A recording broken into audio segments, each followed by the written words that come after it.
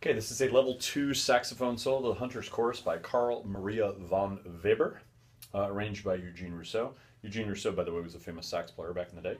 Um, this one is in D major. You can see there's F sharps in the key signature, but also C sharps in the key signature. Now, it just so happens that I believe in this song you don't have any particular Cs. you don't have any C sharps, so you kind of lucked out that way. Um, you still have to worry about the F sharps, of course, but that should be a pretty normal thing. There are lots of articulations to worry about here, a whole bunch of slurs, some accents, some tenutos, some staccatos. Remember, the tenuto, the ones with the line above them, are opposite of staccato. Play it nice and full value. Play a nice long note on that one. Uh, there are some accents at various places throughout the song, especially right before letter C. You've got a whole bunch of accents.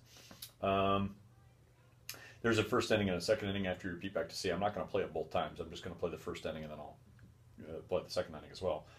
Um, there's one crescendo poco poco, little by little crescendo, uh, starting at letter A and going up, uh, starting at piano at letter A and going up to forte four bars later.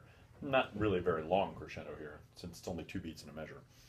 Um, and some 16th notes. And, and, other than that, we're, we're pretty easy on the Hunter's Chorus. So here we go, right at the beginning.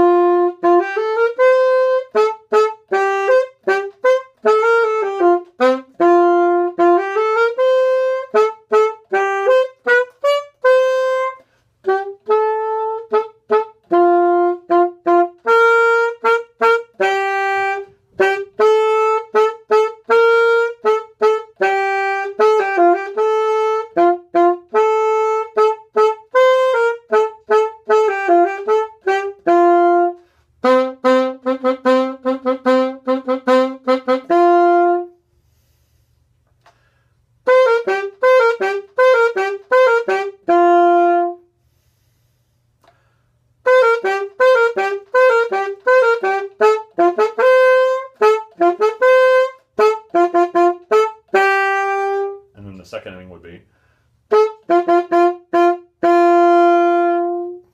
There's not a ritardando mark there at the end, but it feels to me like there should be one. You can feel free to put one in. That's a musical decision you can make. Um, there is one strange note, I guess, that I missed before. Two measures before A, you have a G sharp. Remember, G sharp is going to be your three fingers like G, plus what I call your football key. It's really called your G sharp key, this one right here. Um, in this case, it's also a high G sharp, so you want to add the thumb key as well, the octave key as well. Other than that, not really any weird notes here. Uh, this is a fairly straightforward solo. Um, you know, a nice easy level too. Good luck with it.